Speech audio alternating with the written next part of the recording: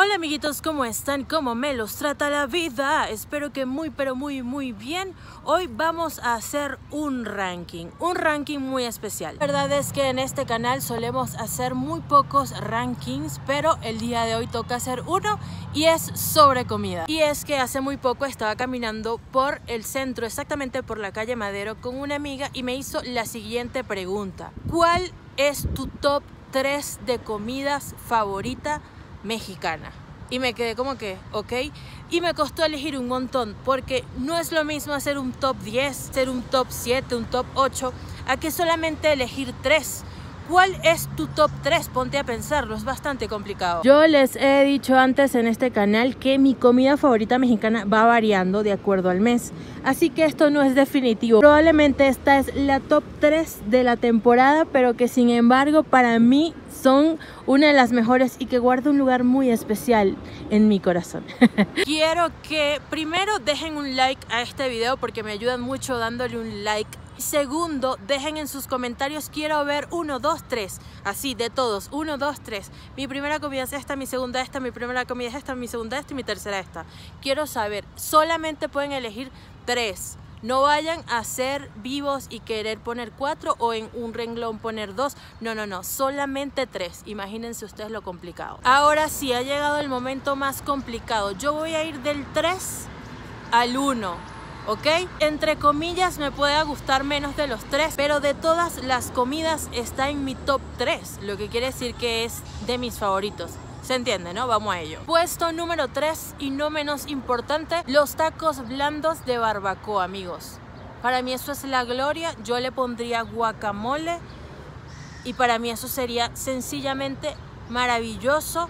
Así que para mí tiene que estar en este top 3 sí o sí. Ahora son de mis tacos favoritos, no me los puedo sacar de la cabeza.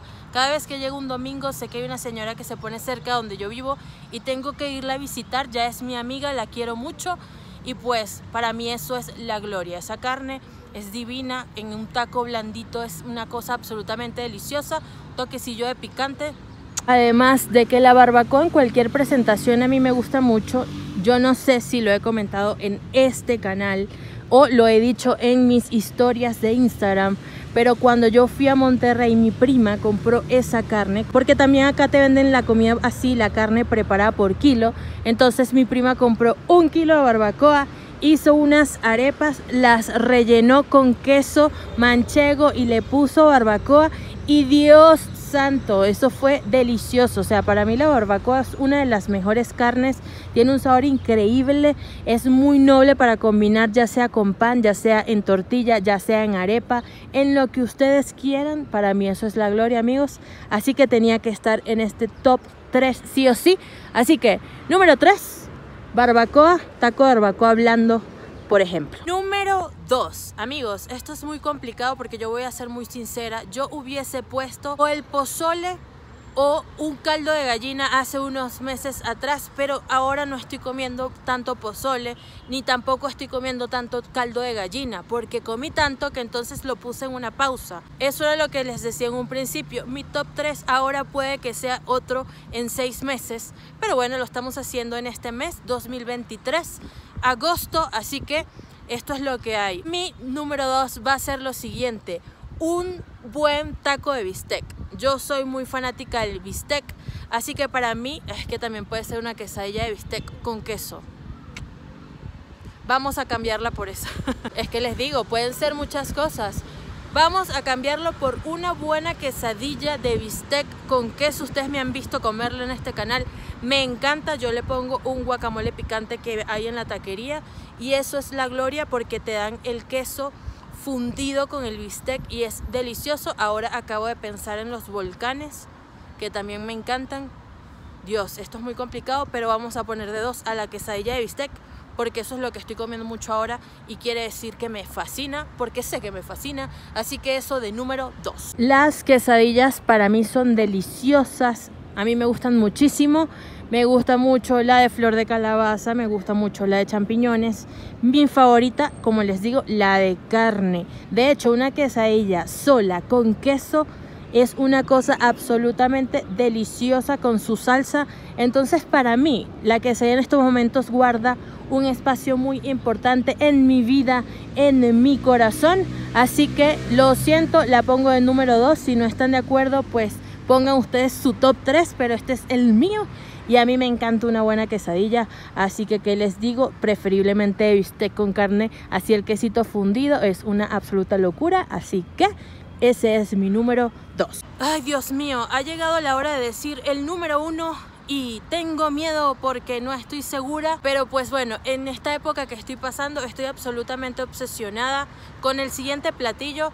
Me parece un platillo bastante completo que tiene muchos sabores, que puede ser bastante, bastante rendidor también. Me parece que lo tiene todo. Y ese platillo que para mí lo tiene todo es los chilaquiles. ¿Lo vieron venir? ¿No lo vieron venir? Pues sí, amigos, yo estoy ahora en una etapa chilaquilera bastante fuerte. Me encantan los chilaquiles, preferiblemente verdes, como los preparé en un video. Me encanta, me encanta el toque que le da la acidez, esa acidez del tomate, del tomate verde.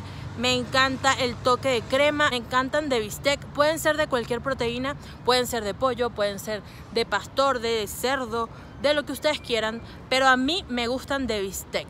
Me encanta esa sensación de estar comiéndome la carne con el crunchy de las tortillas, con ese ácido de la salsa con lo noble, ese equilibrio, ese balance que le da la crema y un toque muy especial que yo siempre lo pido muchísimo es queso fundido. Ustedes piden unos buenos chilaquiles con queso fundido y es una cosa absurdamente buena.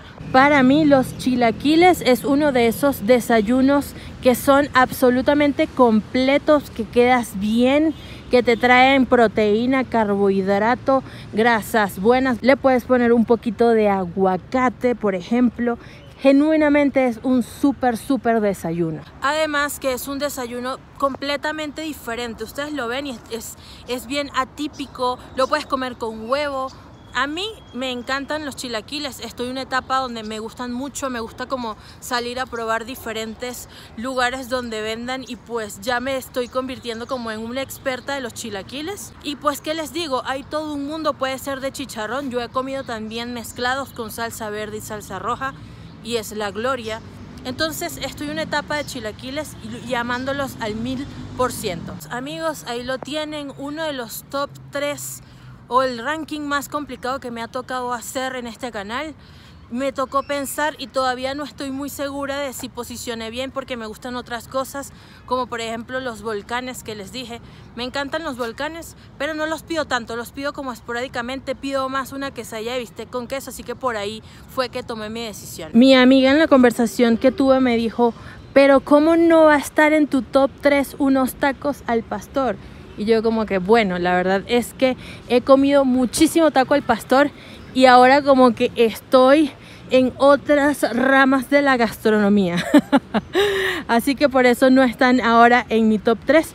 Pero bueno, encantada quisiera ver cuáles son sus comentarios en este video, cuáles son su top 3. Así que ahí voy a estar leyéndolo. Además, otra cosa súper positiva de los chilaquiles es que dicen que te revive de la cruda nada como unos buenos chilaquilitos después de una cruda bien picantitos.